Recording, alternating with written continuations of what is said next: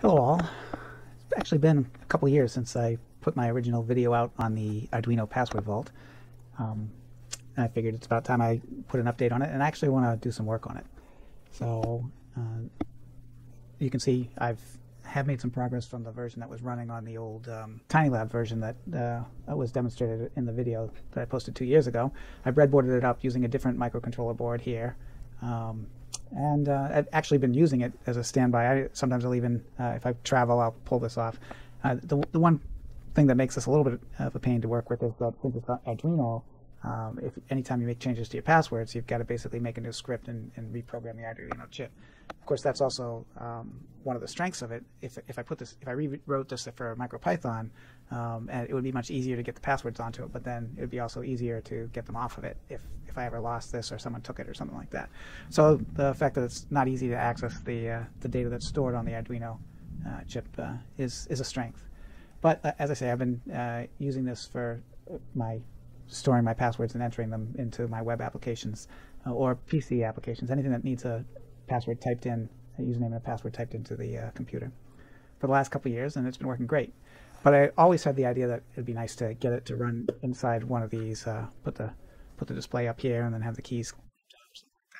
Um, so I finally uh, designed a, a little board to plug everything in uh, on JLC PCB. Um, first board I did on that.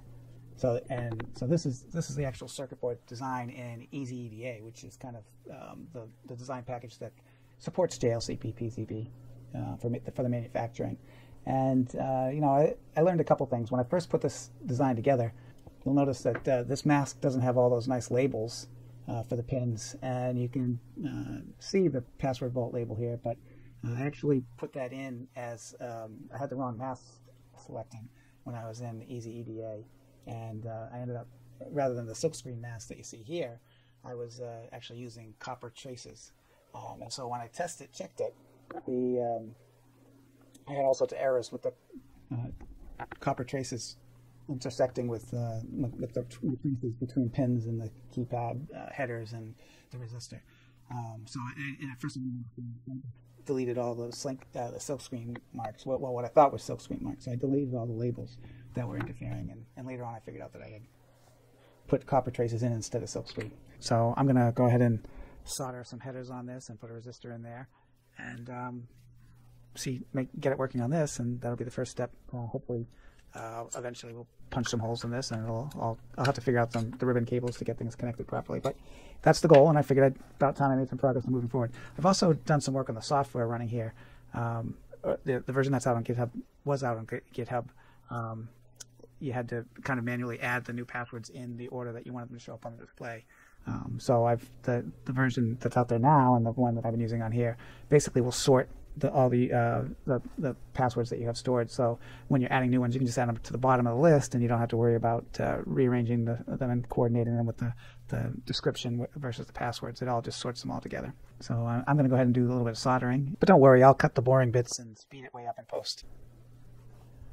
So actually, the first thing I have to do is get the uh, get my headers set up. Um, so basically, I just take these long headers and you have to cut them to the right length. So I need one that's a five pin header and one that's a eight pin header. It'd be nice if we got them to be sticking out straight, aesthetically pleasing. All right. Fortunately, my soldering iron keeps cutting out. I don't know, it must be some power setting. Bet you I can download some firmware or something for it and prove it. I'll have to let it get back up to 320. Only saving grace is it's a pretty quick uh, iron. There we go. And I'm going to switch to my more powerful glasses so I can see what I'm doing. Okay, so I swapped out the uh, head for the wedge head of the point. I'll just wait for the uh, soldering iron to heat up again. And we'll try this again. I have a minimum order of five boards from JLC PCB anyways. So if I screw this up, probably won't try to recover any of this. I'll just start on another board. Wouldn't that be a kicker if this uh, socket, the pins are too wide for this socket. this socket was designed for ICs back in the day. This is an old socket. Chips, the pins, these headers are bigger than the socket. And I don't think that's going to go in. Let's see if it's got enough of a contact. All right. See if it starts up. Getting a little light on there, but doesn't look like it's starting to. Oh, there we go. Success. That's if I let go of it. Yeah. All right. Okay. Seems to be working.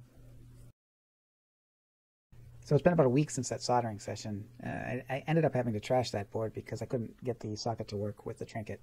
Um, as you can see, it's uh, progressed quite a bit. Uh, unfortunately, it uh, turned out I didn't quite spec it quite right.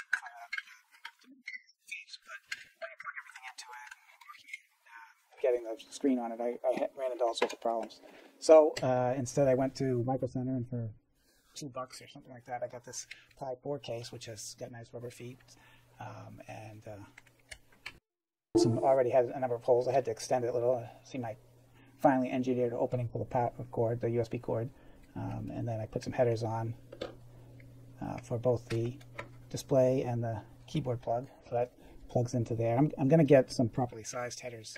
Uh, right now I'm just using a full uh, Raspberry Pi GPIO header um, here temporarily. I mean, it, it, fits into this hole because that's what this was actually designed for.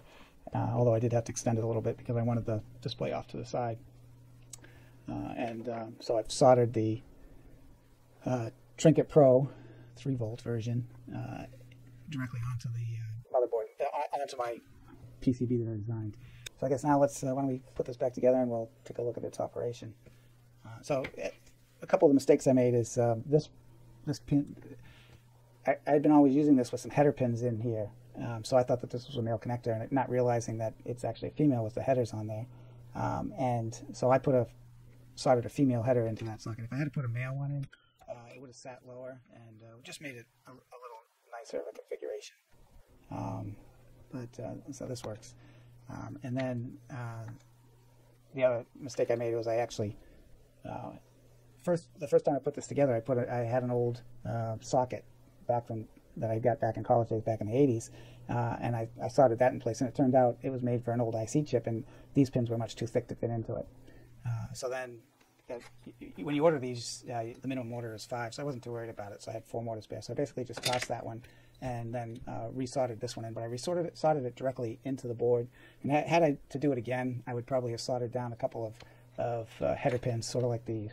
Uh, and then that way I could swap this out because um, then I then I probably would have thrown out the second board and, and gone ahead and put the male headers in here. But as it stands, it uh, it's probably not worth throwing away a couple dollar. I mean, this is only worth probably about ten bucks for a pro trinket, but uh, it's probably not worth uh, wasting that just because uh, I, I, put the wrong header on there.